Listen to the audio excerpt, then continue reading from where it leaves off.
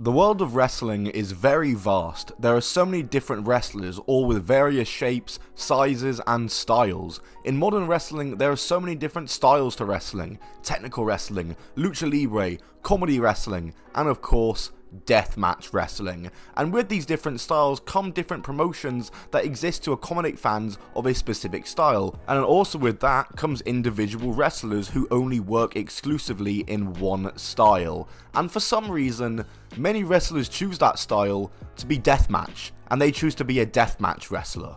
The world of deathmatch wrestling is absolutely insane, and unfortunately, within the world of deathmatch wrestling are wrestlers who have gained distinct reputations for actions in and or out of the ring. Today we're going to discuss three of those wrestlers. This is the Deathmatch Wrestling Degenerates. Before we get into the video, be sure to like and subscribe. I'll give you until the count of three to do so. And let's get into it. Angel O Demonio is a name you probably hadn't heard of and also a name that I have probably absolutely butchered and you probably haven't heard of this name unless you're a hardcore Lucha Libre fan or, like me, know about the incident that I'm about to discuss. Angel debuted in 1987 and according to Cage Match, his entire career he never wrestled outside of Mexico. He only ever made one appearance for AAA, and he made three appearances for GCW as part of a crossover show with another Mexican promotion, as well as deathmatch promotion Zona 23, but he would make dirt sheet headlines in 2018, and he would make these headlines for the absolute wrong reasons. His first break in America was for a reason you wouldn't want it to be for, because this is what took place, and why he was in the news.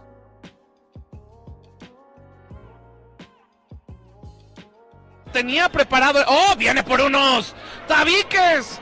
Y vaya que son grandes. Así que esto ya pasando a ser de una lucha en donde estaban el ataúd y el alambre de púas y las sillas. ¡Oh, qué oh. sillazo el que le está dando el cuervo a la cabeza del ángel demonio! Durísimo. ¡Oh! Le repite la dosis, no se puede esconder, no se puede hacer un lado el ángel demonio. Todavía resentía el primer impacto y recibió el segundo. Mucha atención. Tiene dos tabiques. Arriba. ¡Oh!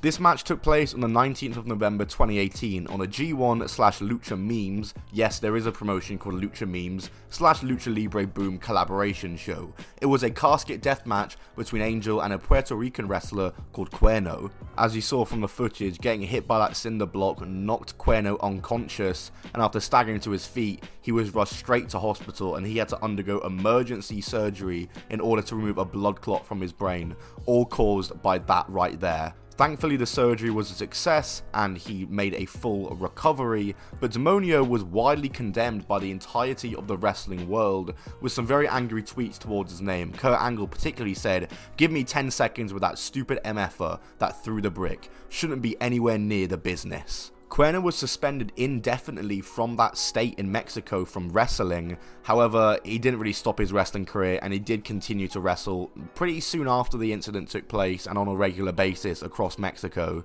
And his career wasn't exactly too hurt because it's not like he was getting booked for major promotions anyway. The final injuries in the end for Cuervo were a skull fracture and an epidural hematoma, if I said that right once again, and a benefit show was held for him to help pay back the money for all the medical fees and all that, which is very wholesome W.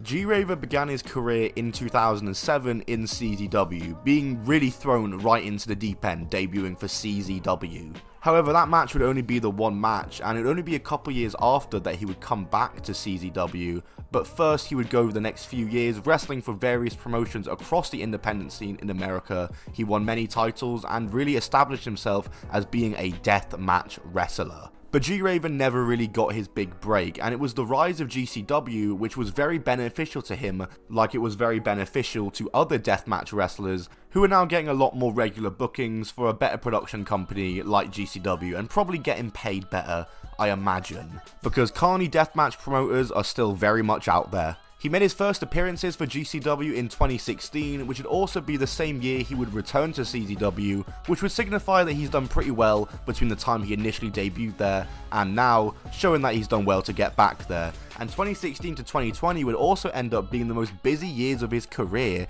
and easily the prime of his career. He won the GCW Tag Team Championship in July of 2021 with Jimmy Lloyd. He only held it for a week, but this was significant because it showed how G-Raver had done pretty alright for himself on the indie scene, all things considered. He never got his big break from a bigger company, but he pretty much reached a good height that he can reach for an independent wrestler, you know, a champion for GCW who one of the higher indie companies. But as quick as he rose, the harder he fell. On the 2nd of March 2022, a woman accused G-Raver of physically assaulting her. And a couple months later, she would post some screenshots between her and G-Raver, showing some pretty damning screenshots and some pretty uncomfortable screenshots to read.